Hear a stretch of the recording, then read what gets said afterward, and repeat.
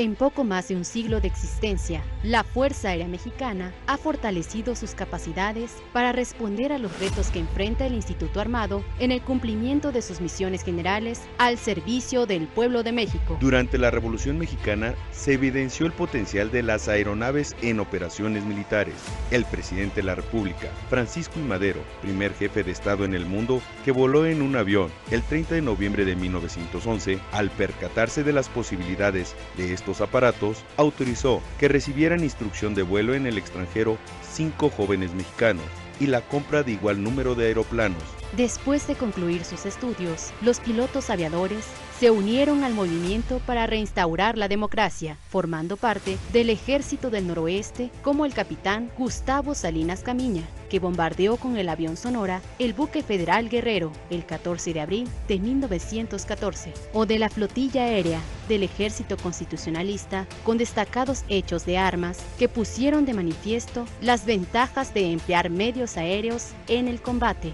Los resultados del empleo bélico de las aeronaves sustentaron la creación el 5 de febrero de 1915 del Arma de Aviación Militar, origen de la Fuerza Aérea, por acuerdo del primer jefe del Ejército Constitucionalista, don Venustiano Carranza, quien consciente de la importancia del desarrollo de la industria militar, creó los talleres nacionales de construcciones aeronáuticas, donde se impulsó el diseño, prueba y producción de aeronaves, motores y hélices, con tecnología propia, destacando el motor Astad,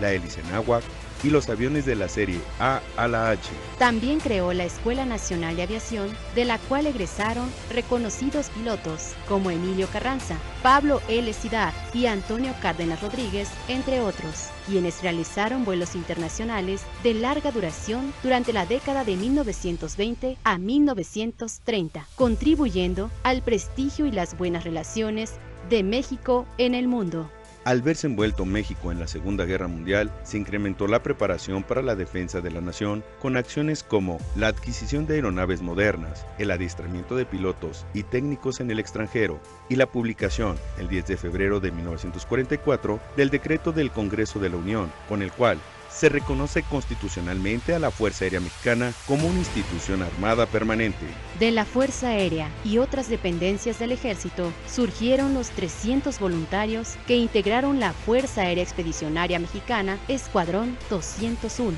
que combatió en defensa del honor nacional, realizando 96 misiones de guerra en casi 800 salidas de aeronaves para enfrentarse con el adversario. Tras su retorno victorioso a nuestro país, el 18 de noviembre de 1945, sus integrantes recibieron el reconocimiento del pueblo de México por haber cumplido con abnegación, honor y valor la misión que la patria les encomendó en los frentes de guerra del Pacífico. El desarrollo y profesionalización que alcanzó la Fuerza Aérea y el establecimiento de nuevos estándares en el adiestramiento y la educación llevó a la creación del Colegio del Aire en 1959, lo que ha contribuido a un trabajo integral cada vez más coordinado en el desarrollo de las funciones de pilotos y especialistas para la ejecución eficiente y segura de las operaciones aéreas.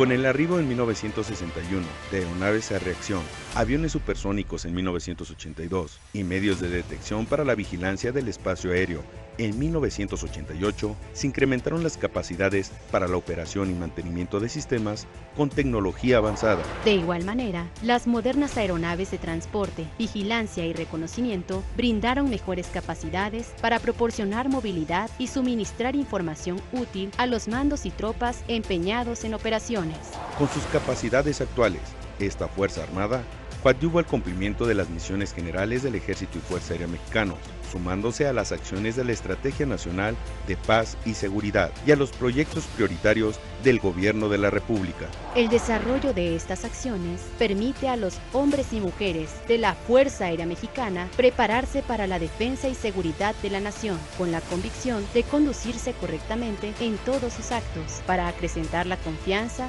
cercanía y respeto con el pueblo de México. En su segundo siglo de existencia, como garante de la soberanía del espacio aéreo nacional, la Fuerza Aérea Mexicana se mantiene como un componente moderno, suficiente y confiable para hacer frente como parte del esfuerzo conjunto a los retos actuales y futuros en forma ágil, flexible y versátil, con el compromiso de atender las demandas y aspiraciones de la sociedad mexicana, siempre con